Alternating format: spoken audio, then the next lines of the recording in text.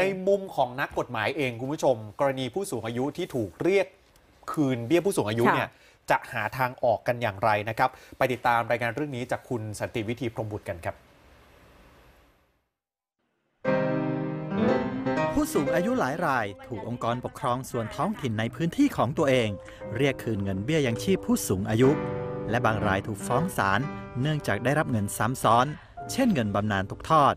ซึ่งขัดต่อระเบียบกระทรวงมหาดไทย ว่าด้วยหลักเกณฑ์การจ่ายเงินเบี้ยยังชีพผู้สูงอายุขององค์กรปกครองส่วนท้องถิ่น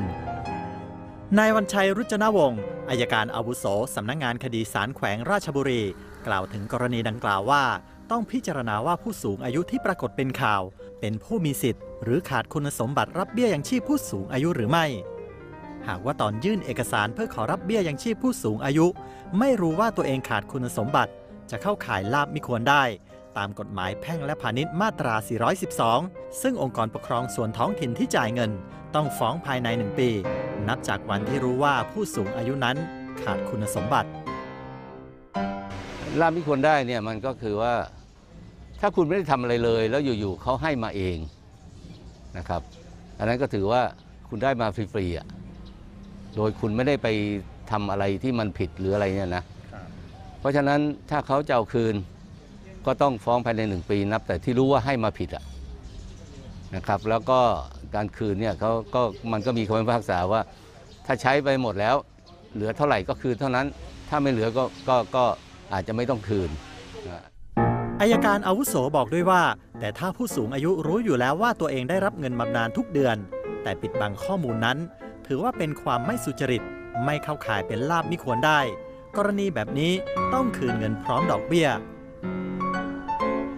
แต่ถ้าเผื่อว่าคุณรู้อยู่แล้วว่าตัวเองไม่มีสิทธิ์ แล้วไปโกหกเขา หรือไปหลอกเขาว่ามีคุณไม่ได้เป็นคนที่ได้รับบำนาญหรือไม่ได้รับเงินจากรัฐบาลเนี่ยนะอันนั้นก็ถือว่าเป็นการไม่สุจริตละเป็นการทุจริตละเพราะฉะนั้นไอ้มันไม่ใช่ลาบที่ควรได้ละ เพราะว่า คุณได้มาไม่ใช่เขาให้มาเปล่าๆอะแต่เขาให้มาเพราะถูกหลอก เพราะฉะนั้นก็ต้องคืน ต้องคืนพร้อมดอกเบี้ย การจะรู้ได้ว่าผู้สูงอายุรายนั้น ไม่รู้ว่าตัวเองขาดคุณสมบัติ หรือปิดบังข้อมูลหรือไม่อายการอาวุโสบอกว่า เอกสารที่ผู้สูงอายุลงรายละเอียดไว้ครั้งแรก เพื่อขอรับเบี้ยยังชีพผู้สูงอายุ จะมีเงื่อนไขต่างๆกำกับไว้ ซึ่งน่าจะตรวจสอบได้ และหากพบว่าเป็นความบกพร่องของเจ้าหน้าที่เอง เจ้าหน้าที่ก็ต้องเป็นผู้รับผิดชอบเช่นกัน คนที่ทำผิดพลาดจะต้องรับผิดชอบ แต่จะได้เงินคืนหรือเปล่าไม่รู้เพราะรุ่นนั้นบางคนก็ตายไปแล้วก็มีอะไรมีมันก็มันต้องดูเป็นเรื่องๆไปอีกอะฮะแต่ส่วนใหญ่เนี่ยเงินหลวงที่เสียหายมันต้องมีคนรับผิดชอบและต้องคืน ไม่ว่าผู้สูงอายุจะไม่รู้ว่าตัวเองไม่มีสิทธิ์รับเงินซ้ำซ้อน หรือรู้แต่บอกไม่หมด แต่สิ่งหนึ่งที่สะท้อนให้เห็นจากการเรียกเงินคืนเบี้ยยังชีพผู้สูงอายุ คือความบกพร่องของฝ่ายรัฐด้วย เพราะบัญชีผู้ได้รับบำเหน็จบำนาญอยู่ในฐานข้อมูลของรัฐ ส่วนข้อมูลผู้รับเบี้ยยังชีพผู้สูงอายุ ก็อยู่ในฐานข้อมูลของรัฐเช่นกัน เพียงแต่คนละหน่วยงานเท่านั้น